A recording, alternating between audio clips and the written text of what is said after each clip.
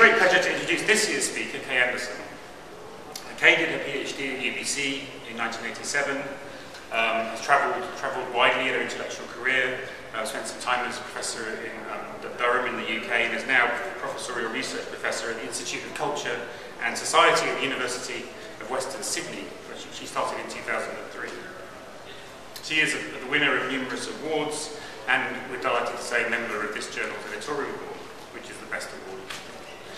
Um, it's a particular pleasure for me to introduce Kay, as she has been an important figure for me personally. When I was doing my PhD, I started to read Kay's early work on race, hegemony, and landscape in Vancouver, in Vancouver's Chinatown, which became one of the classic pieces of theoretically informed cultural geography associated with what was then called the New Cultural Geography. I think we probably need to stop calling it that at some point. Um, none of us feel that new anymore, I guess. Um, and the work that she was doing then uh, around issues of race was one of the important um, moments, I think, in the way in which geographers have handled race, and, and, it can be added to the list of um, incredible people that Audrey Kobayashi was talking about the other day. Um, her paper in Society and Space on cultural hegemony and the race definition process in Vancouver's Chinatown from 1988 remains one of the very best papers from those early years of the new cultural geography that became the impetus for our journal. And I've taught this paper to over 20 years of undergraduate students.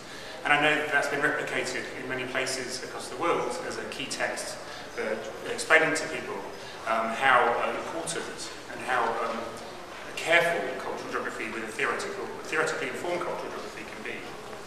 Um, I had a particularly fond memory uh, of, of somewhere around 20 years ago of meeting Kay uh, at an AAG conference in San Diego and chatting about hegemony culture while sitting by the swimming pool at an AAG conference. I think she had a, a, a sore throat at the time and um, was probably somewhat distracted by this strange person talking to her. But I, I was thrilled and um, I think I was probably quite starry-eyed at the time because I'd been reading her work. Um, an important thing about Kay is she never rested on her laurels. Uh, she's continued to do exactly the same thing uh, since she started. She's continued to push cultural geography and the ideas that are central to her work um, in, her, in her research, to push beyond um, what you might expect, and, um, and to push the discipline in new directions. So, for instance, um, her work on um, cultures of nature uh, in Adelaide Zoo was another classic uh, paper that um, informed the way in which cultural geography dealt with nature and the relationship between culture, and nature, and the emerging work on culture, natures, and animal geographies. Um, she obviously has published an enormous amount of things that have been very important in the pedagogical sense as well. I also remember inviting, inventing places, inviting places that yet to be written. Someone could try that. Uh, inventing places, which was one of those edited collections that were very important to students and, and researchers who were beginning to engage with these ideas at, the, at that time. There were a number of books that came out um, with which were very exciting to those of us who were working. At that time, I was at the end of my PhD, but I know it was one of the very important books. And of course, he's also the, one of the editors of the um, 2002, was it, I think, Handbook of Cultural Geography, which also became a defining uh, text, I think, in a different way, not necessarily for undergraduate students, but um, as defining the cutting edge of what cultural geography was then. And her work since then has been um, um, engaging with ideas of, of what the human in human geography is. Uh, what it is to be, what, what, what human means. Um, they're very serious uh, ontological questions, moral questions, and epistemological questions about race and about the human um, in relation to Aboriginal geographies in Australia and in relation to the history of science and in relation to any number of other things. Um, and the second monograph um, uh, would start develop some of those themes and I think um, they, they continue to develop and I think that's what we're going to hear about today. So without much further ado, I'd like to um, introduce Kay Anderson and um, uh, welcome her.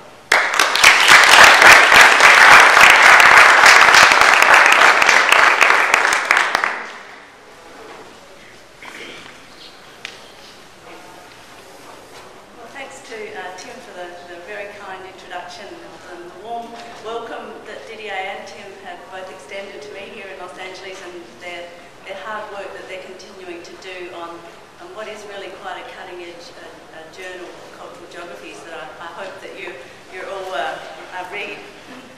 Um, my talk today does um, pick up on uh, my long-standing interests in race since the work I did on Vancouver's Chinatown. Um, that incidentally I'm currently revisiting in a completely separate project. Um, but today my, the work is growing out of um, a project with the Australian Research Council, a discovery grant that's been running for a couple of years now. I had to lean close to the microphone then. right. Okay, well I'll, I'll, I'll try that.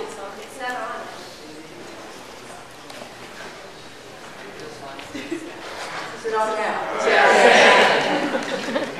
well, I won't, repeat, I won't repeat my introduction, but I will mention to Tim actually I still have a sore throat um, all these years, all these years later, um, but doubtlessly to do with some long haul travelling. Um, okay, today, um, uh, mind over matter on decentering the human in human geography. As the uh, philosopher Simon uh, Glendinning um, puts it in his critique of humanism, uh, in the same universalist terminology that he criticises, and I quote, man is only man insofar as he is essentially more than a human animal. Unlike animals, whose lives are defined solely by their existence, human beings are or become human as they transcend some animal-like condition. That's the end of the quote. It's this formidably tenacious and, in the early decades of the 21st century, patently dangerous idea in Western-derived cultures that humans are, in some sense, irreducible to nature that I want to take up in this paper. And it does so against the background of what is a now widespread concern within the social sciences and the humanities to challenge the long-standing assumption that some realm of human culture can be conceived as separate from another non-human domain called nature. Challenging the idea that humans occupy a separate and privileged place among other beings has been a central goal of what is now a familiar post-humanist agenda in geography, an agenda inspired above all perhaps by Bruno Latour and others, notably Donna Haraway in Science and Technology Studies and in Actor Network Theory. It's an agenda that has been particularly influential for a discipline of geography long divided as it has been by an always uncomfortable distinction between the human and the physical. In geography, Noel Castree and Catherine Nash note that the term posthumanism has been used both to describe a historical condition and to signal a theoretical perspective. So descriptively then, posthumanism has come to name the sense in which recent developments in biotechnology, our increased dependence on machines, the multiplication of hybrid objects and so on have meant that our lives have become now so thoroughly entangled with all kinds of non-humans that it's become difficult, if not impossible, uh, to delimit a distinctively human form of being. Conceptually, posthumanism has centred more on the challenge that these sociological developments have posed to the stability and the category, the, sorry, the stability and the integrity of the category of the human. More specifically, as Castree and Nash put it, it has challenged the very idea of the, quote, human subject as separate and liberated from nature and fully in command of self and non-human others, end of quote. The central goal of this critical post-humanism, as I want to take it up and, de and develop it further in this paper, is to challenge that deeply entrenched discourse of humanism that separates and elevates humans from the natural world. It's a challenge designed to effect, in the words of Australian cultural studies scholars Gay Hawkins and Emily Potter, a decentering, as they call it, of the thinking human subject. A decentering that increasingly in human geography, as elsewhere, has been pursued via what uh, Sarah Whatmore in this context uh, back in 2006 has described as a recuperation of materiality. This recuperation is evident in a range of distinct but related developments. Acknowledging the proliferation of work in the ongoing task of rematerialising cultural geography, it's possible to discern a few clusterings as follows. First, around material culture studies of, for example, the intersections of matter, memory and place. Second, the move to reclaim the social, especially in social geography, a move to reclaim the social in an intensified focus on material inequalities. Third, the non-representational turn to bodily practices and um, the affective economies, as they're called, of touch, taste, smell and sound also sense and sensibility in recent, as they are called, post-human phenomenologies. And finally here, a nature cultures cluster sharing various vitalist philosophies with non-representational geography to elicit the entangled materialities of nature, science and technology.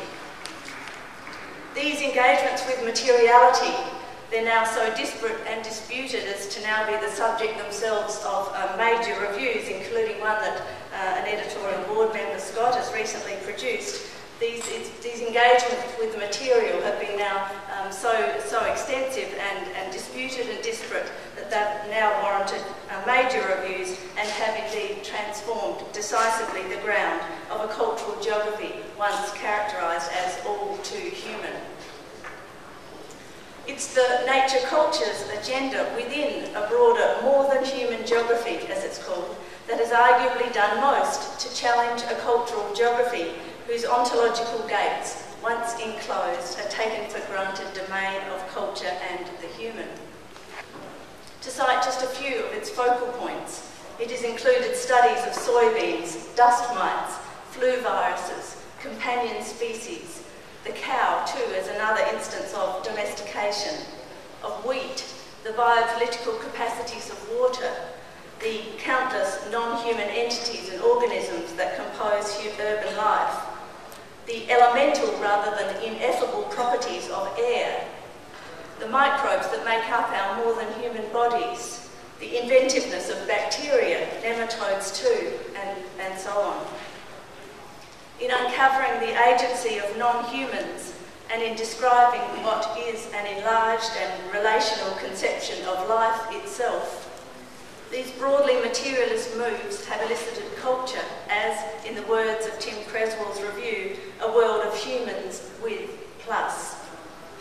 Culture, as Castree and Nash put it, is always in excess of the human.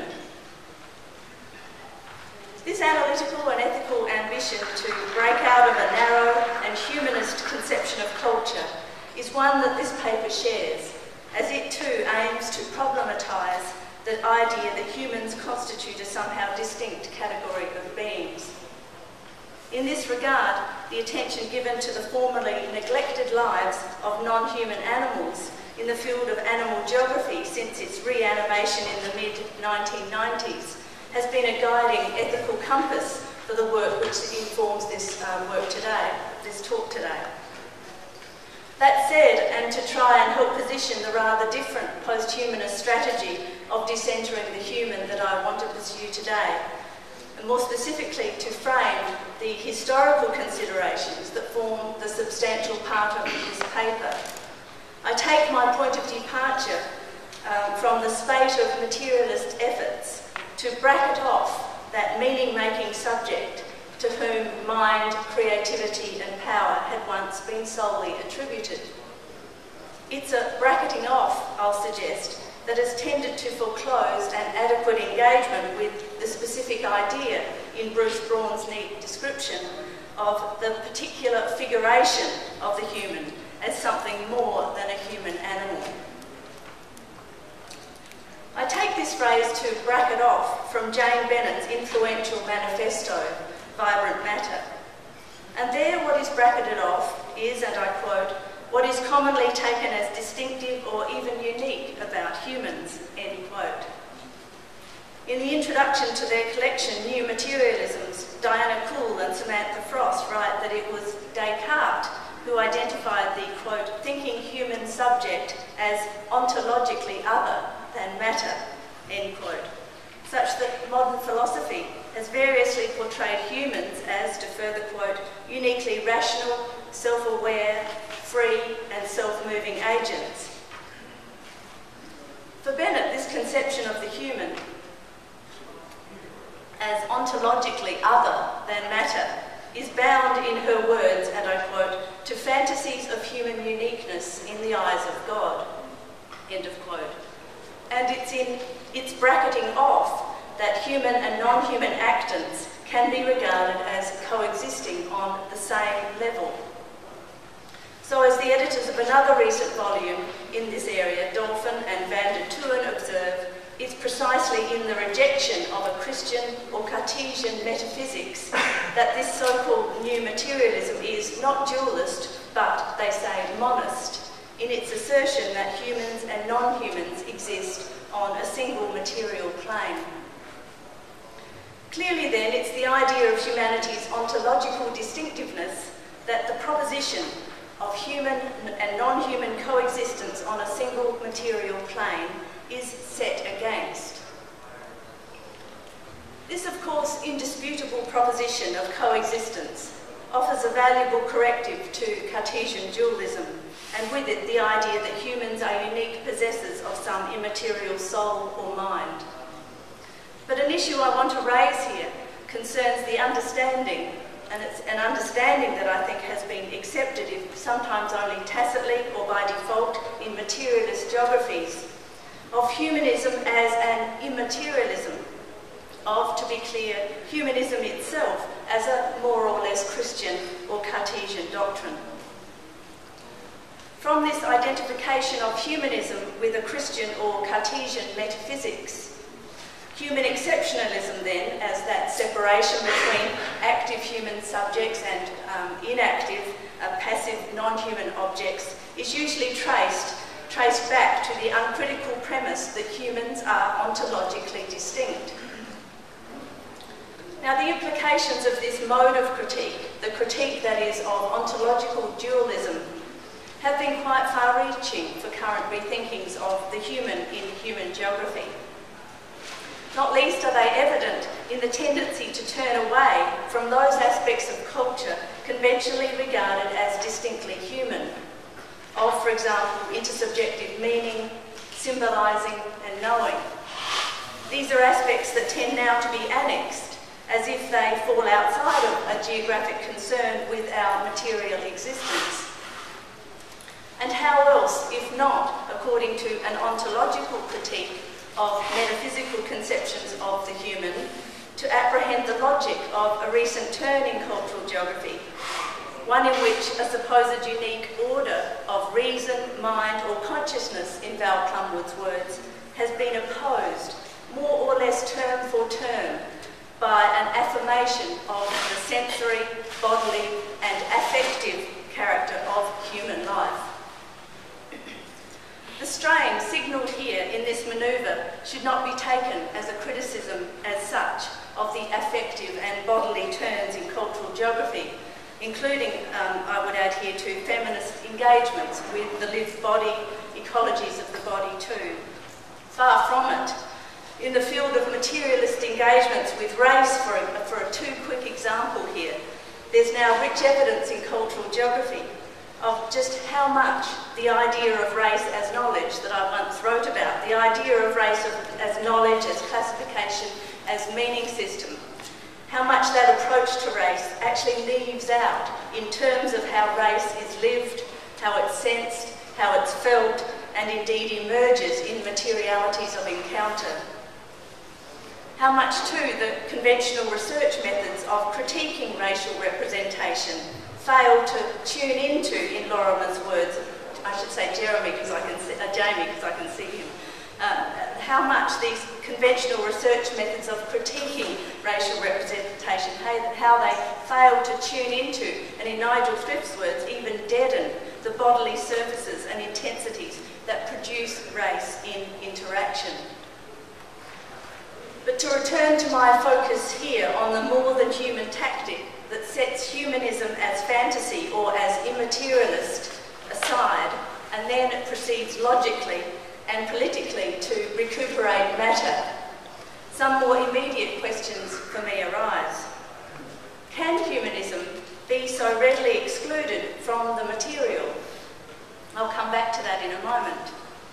And does the materialist opposition to what is an essentially theological idea of humanism offer the best hope of challenging contemporary assumptions, assumptions today, that is, of human exception from nature.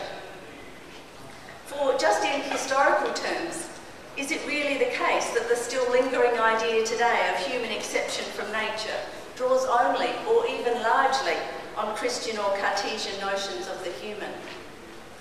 That is, is it really the case, as Bruno Latour himself has maintained, that we humans in Western derived cultures, and I quote him, haven't moved an inch since Descartes, such that 500 or so years later, as Latour goes on to lament, and I quote again, the human mind is still in its vat, excised from the rest, disconnected and contemplating the world, end of quote.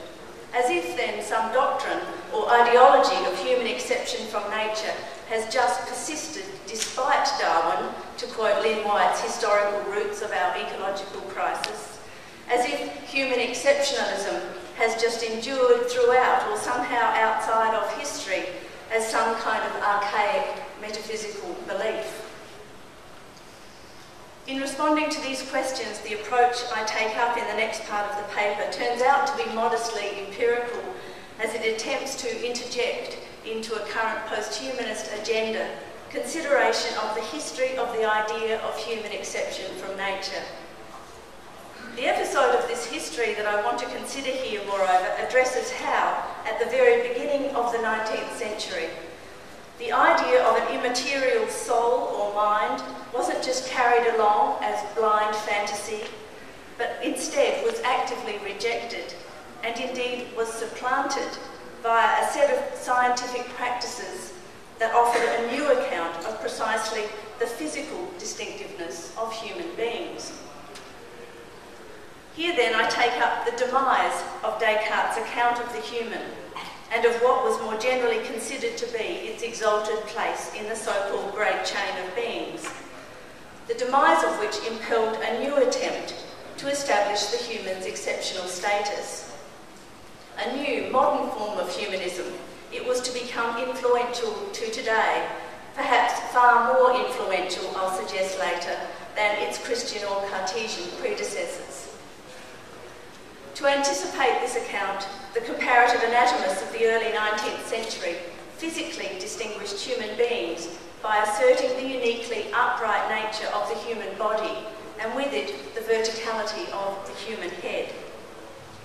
And it will be suggested it was through the various practices of craniometry, and centrally the practices of racial craniometry, that these scientists attempted to establish an, an, anatomical account of humans as creatures that were categorically different from all other animals, especially the great apes. Of course, the emergence of comparative anatomy at the beginning of the 19th century, as well as evolutionary theory later on, attracted a good deal of hostility from those, especially Christian commentators, who continued to insist that humans were ontologically distinct from non-humans. But again, to assume that human exceptionalism just persisted, despite these developments, and because of some inexorable human vanity or naive Christian faith, is to overlook the history of what was actually an anxious struggle to establish the exceptional status of the human without recourse to Cartesian metaphysics. It's this anxious struggle and its legacy into the present that will be considered here. And while this instance, uh, this struggle I should say, might perhaps be read as yet another instance in the systematic elaboration of a metaphysical notion of soul or mind, there are good reasons to avoid an assumption of humanism's seamless continuity. For to assume this continuity is to risk construing the very idea of human exception from nature as something outside of history, as a belief that could somehow persist behind its various formulations, as a kind of underlying motivating ideology that could exist apart from or prior to its various and of course always material manifestations. The important point here then is that it's only by insisting upon humanism's own materiality, by pursuing a critique based upon its worldliness rather than its otherworldliness, that is, as something which is assembled in the concrete literal sense that Latour, for example, has opposed to the linguistic idea of social constructivism, that human exceptionalism can itself be rendered vulnerable only then by recognising humanism's very materiality can it be, become susceptible to precisely the intensity of scrutiny demanded by the Earth's state of ecological fragility. Setting aside as abstraction, as myth, the notion of human exception from nature isn't then arguably enough to decenter it in the interests of a planet under pressure. As Joanna Bourke has observed, to understand the instability of definitions of the human, we need history. And so it is in my attempt then from a southern positioning in one of our post-colony to elicit the instability of human uh, exceptionalism itself, that what I want to consider now is its uneasy formulation by a specific notion of intelligence intelligence then perhaps as um, the iconic humanist marker of distinction from the non-human, one that gets left unproblematized in the existing post-humanist gesture, which is to bracket off the thinking human subject and proceed then to recuperate matter. There's a lot then that gets left out and unproblematized in that story. Forged in the notorious practices of racial craniometry, it was a notion that I'll be suggesting was integral to the emergence of what my Australia Research Council co-researcher Colin Perrin and I call a discourse of anatomical humanism.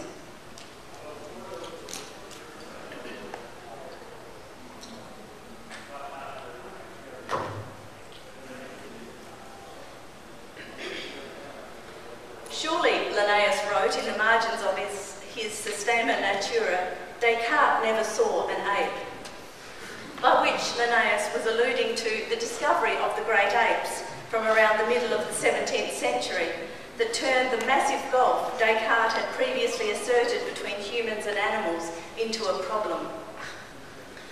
Linnaeus' infamous assertion that he could find no physical way to categorically distinguish between humans and the great apes was premised upon his assumption that orangutans, a general term at the time, walked upright.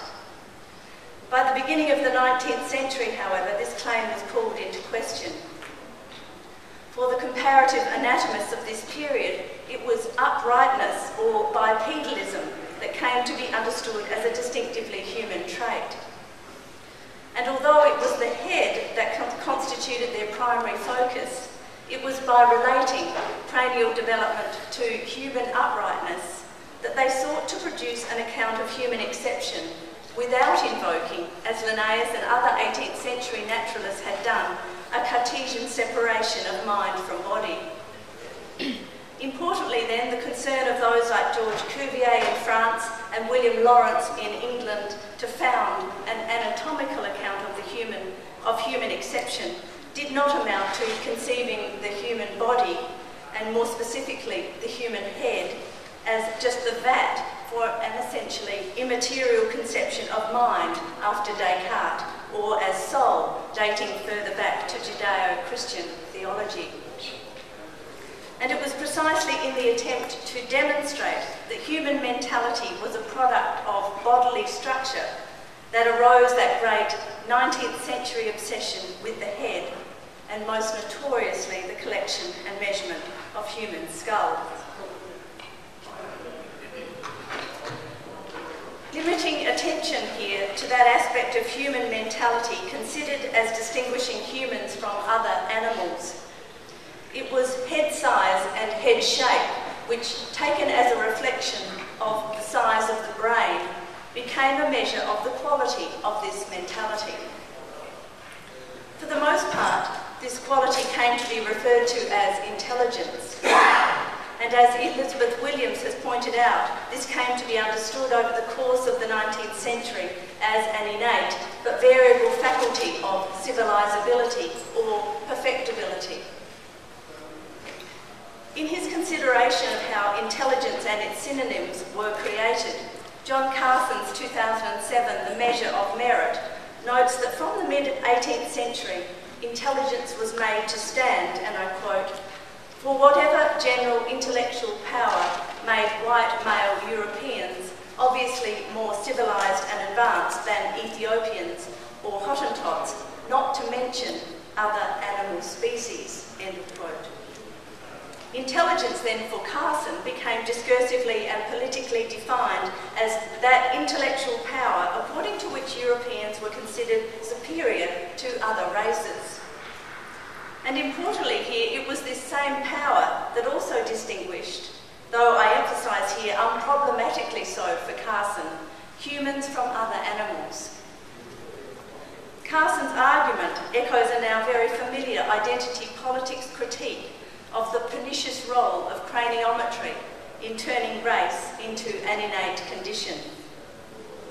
In trying to relate variations in head size and head shape to some intellectual capacity or incapacity, Carson argues that the comparative anatomists of the early 19th century drew on, and I quote, the vision of a hierarchy of species associated with the great chain of being and with it the chain's key criterion for distinguishing species and organisms' overall level of intelligence, end of quote.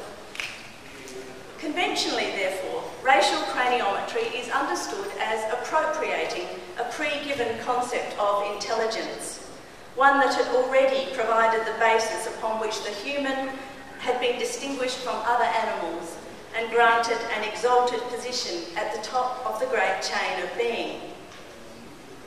Here, however, an alternative or further uh, possibility can be suggested. As Michel Foucault has argued, it was with the transition from the classical to the modern age that, to quote him, the possibility of deploying a great natural order which would extend continuously from the simplest and most inert of things to the most living and the most complex disappears. End of quote. And as Cuvier himself, for example, in the early 1800s maintained in his words, the pretended chain of beings as applied to the whole of creation is erroneous, end of quote. It is then far from clear that comparative anatomists like Cuvier simply drew on and extended the hierarchical principle of life expressed by the great chain. And again, the claim here, as supported by Price's recent uh, piece in The History of the Human Sciences, the claim here is that it was precisely with the demise of the great chain belief system that human distinctiveness came to be understood in new and, after Foucault, specifically modern terms. As Carson has pointed out, which racial groups were superior and which inferior was already known at the beginning of the 19th century. Michael Adas, too, in The Measure of Man, notes that differences in material culture and their perceived levels of sophistication had by then come to entrench an, an invidious hierarchy of the world's people. What can be taken from these and many similar critiques of colonialism is that it was precisely because such differences in material culture were taken to form a self-evident intellectual hierarchy that race came to constitute an essential resource, not only in what we've heard a great deal about in uh, critical race theory and race historiography.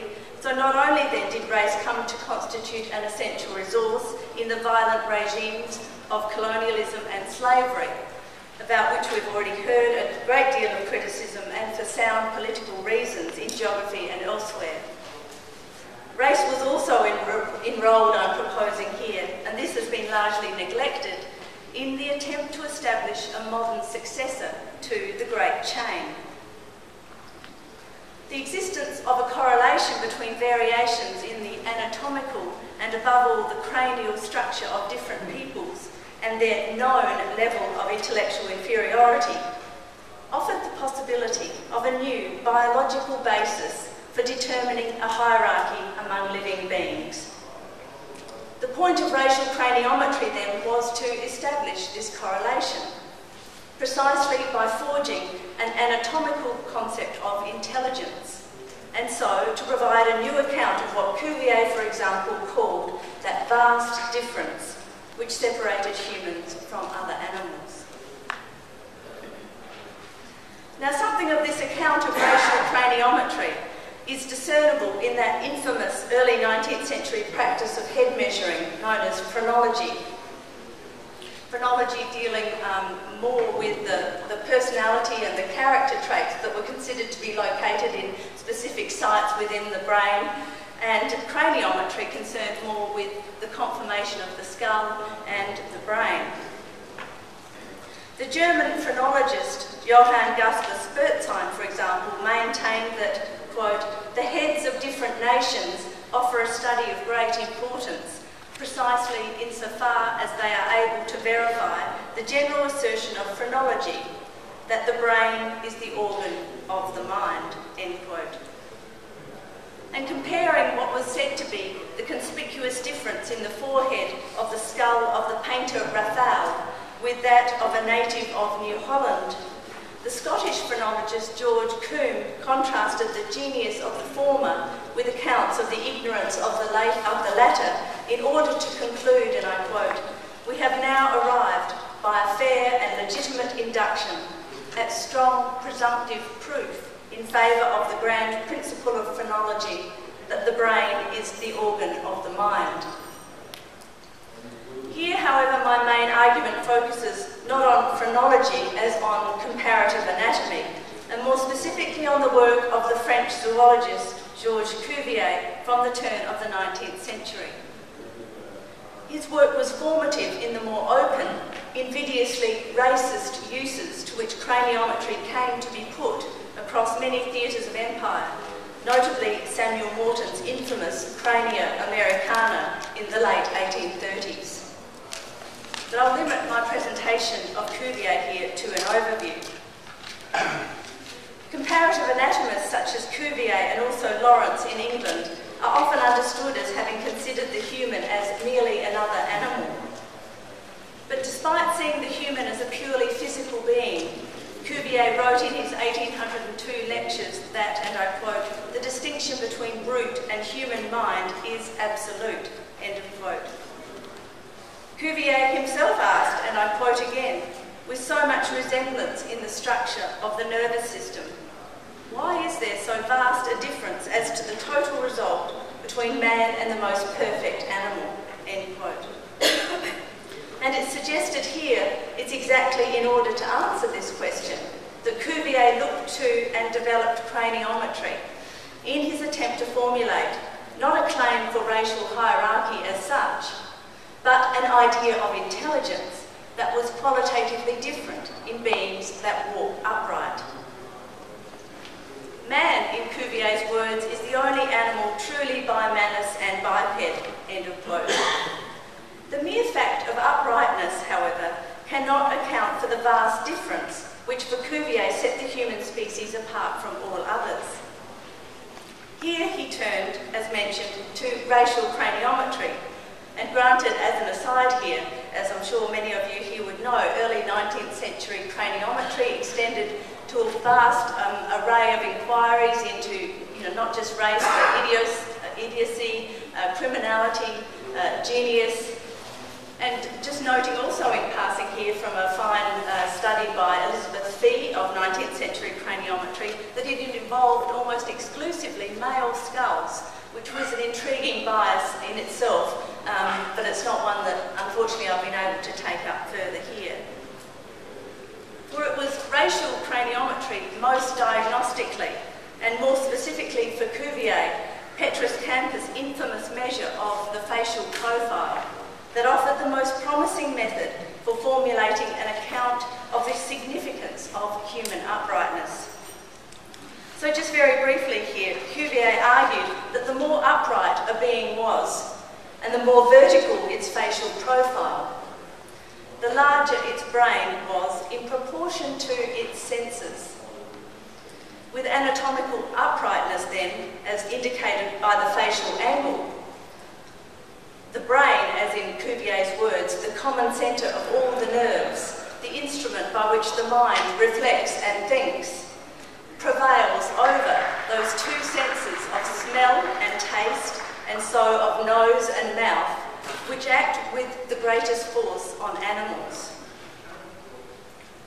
So just quickly the facial angle, just to give you um, a diagrammatic representation of this.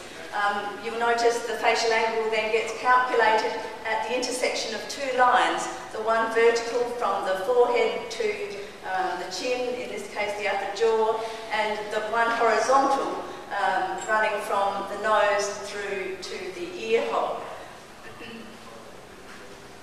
And you can see from uh, Petrus Camper's facial angle diagram here, what was um, actually um, in the attempt here was to measure the angle um, and to, I'll, i think I'll quickly rush over those to this one because you can see here what was actually trying to be achieved then in studying um, the facial angle.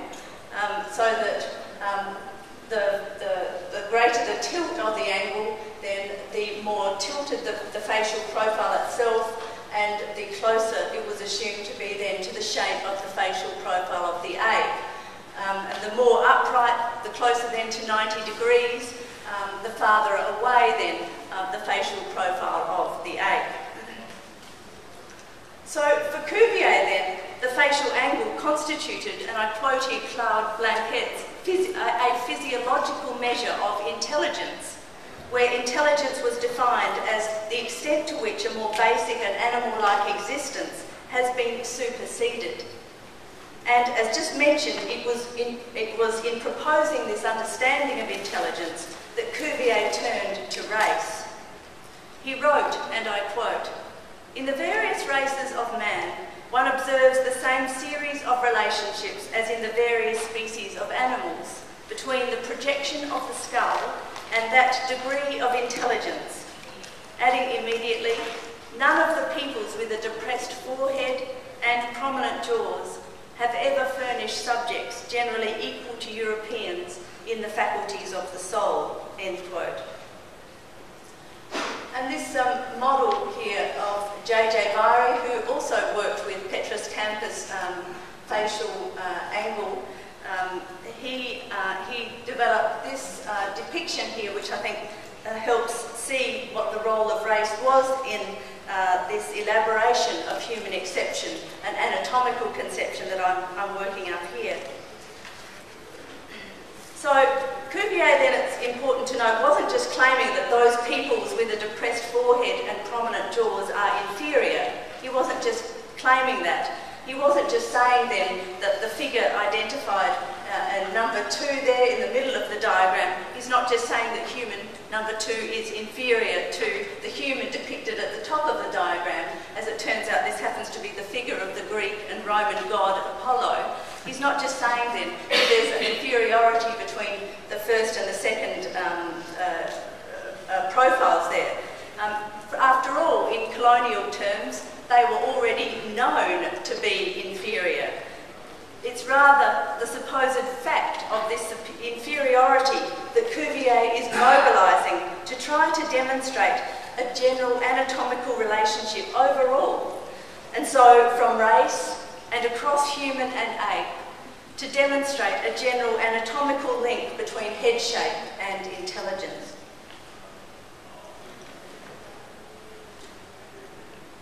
Cuvier's invocation of an apparently self-evident racial hierarchy thus provides the very basis upon which his comparative research could contend that certain upright anatomies are more intelligent than others. And so it is the very knowledge embedded in colonial stereotypes of non-Europeans that comes to found the far-reaching modern contention that a uniquely human mentality is the product of a uniquely human anatomy. As Cuvier's follower Lawrence in England in his 1819 lectures on physiology um, wrote, and I quote, In the external conformation of man, we immediately remark his upright stature, his majestic attitude, which announces his superiority over all the other inhabitants of the globe. He is the only being adapted by his organisation to go erect. Enslaved to the senses and partaking merely of physical enjoyments, other animals have their heads directed towards the earth. End of quote.